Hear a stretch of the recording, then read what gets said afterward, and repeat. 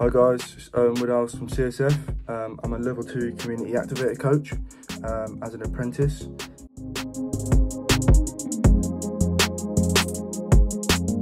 Um, it's been odd recently, obviously not being in work, having to sort of stay at home and, and be on furlough. Um, it's been very stop-start, um, not going in and then going in, and then obviously now we're in another lockdown. Um, support's been great to be fair from, from other members of staff.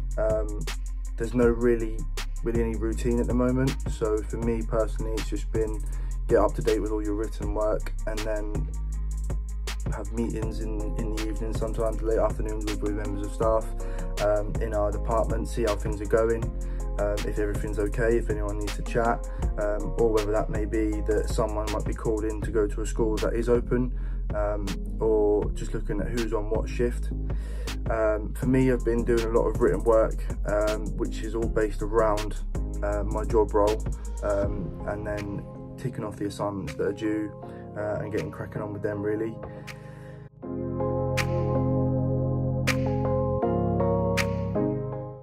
Personally, for me, I've enjoyed being chucked in at the deep end. Um, I've enjoyed getting involved where I can um, and doing as much as I possibly can, learning whilst I'm there, working with people that have done it for many years now. So the experience that they pass on to me is, is great. Um, I think I've enjoyed learning what makes you a good coach, um, how you can always improve because you can always improve. Um, I've enjoyed uh, understanding new skills, uh, getting the knowledge from people who, know what they're doing, um, and kind of just being chucked in at the deep end and just kind of having to deal with situations, especially at the moment with with certain year groups before lockdown. Um, they weren't allowed to actually be in the same uh, environment together, so you had to split off different sections of the football pitch. Um, so that was challenging because working with younger children, they sometimes don't listen. Um, so that has kind of sort of tested how you can be within an environment um, and how you can kind of show that you can um, do it on your own and you can be independent.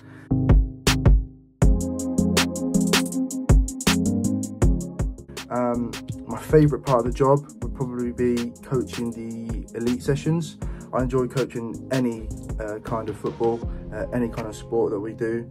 Um, however, I just think because of the technicality that is put into the sessions, uh, as a coach for me, I'm learning more, more and more uh, each day. Um, and I'm also able to sort of chip in where I feel is necessary and just give a few pointers, which is also helping me because um, it's allowing me to sort of gain relationships with, with new players. And I think that's always good when you're a coach.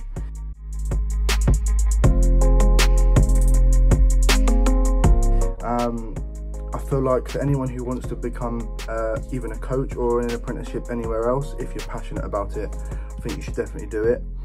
Um, it's always something, it's always good when it's something that you're into. So for me, I've always had a bit of an eye for coaching. Um, I like playing football myself.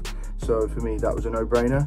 Um, whether it's something that's not to do with football, it's just something that you enjoy, if it's a hobby, you never have to work a day in your life.